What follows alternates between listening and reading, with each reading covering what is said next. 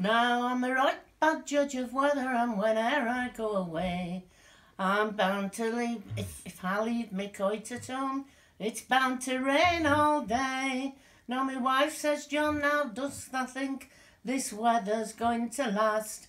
And I said to her, now don't ask me, thou knows me of the past. Cause if it does, I think I'd like to go out for the day. Go round to Widow Holroyd and I'll tell you what to say. Now then, Mrs. Holroyd, can you feel out? If you can, I'd like to know. For they say that there's a breeze on up at Blackpool, and I thought I'd like a blow. They say that you can tell the weather's changing by the twitching of your rheumatic pain. So I've just come round to ask you, Mrs. Holroyd, can't you feel out like rain? Now, when we got out to Blackpool, well, I've forgotten the words again. Mm-hmm. Mrs. Holroyd said, now thee go on, there'll be no rain today. And when we got to Blackpool, we enjoyed both wind and spray. We were walking on the promenade, and my wife, she gives a shout, she says, Sither, this Mrs. Holroyd, and there was without a doubt.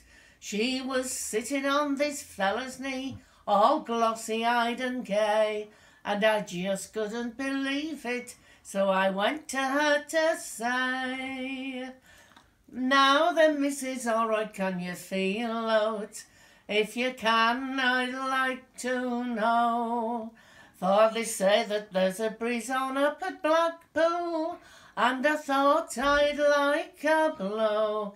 They say that you can tell the weather's changing by the twitching of your rheumatic pain.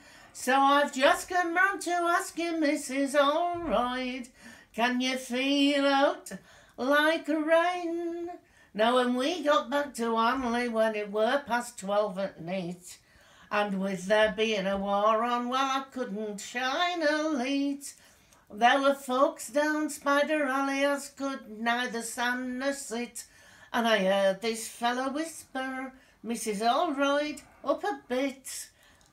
She gave a little squeak then as though she were in pain, and I just couldn't resist it, so I asked her once again.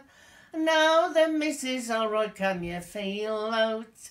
If you can, I'd like to know. For they say that there's a breeze on up at Blackpool, and I thought I'd like a blow.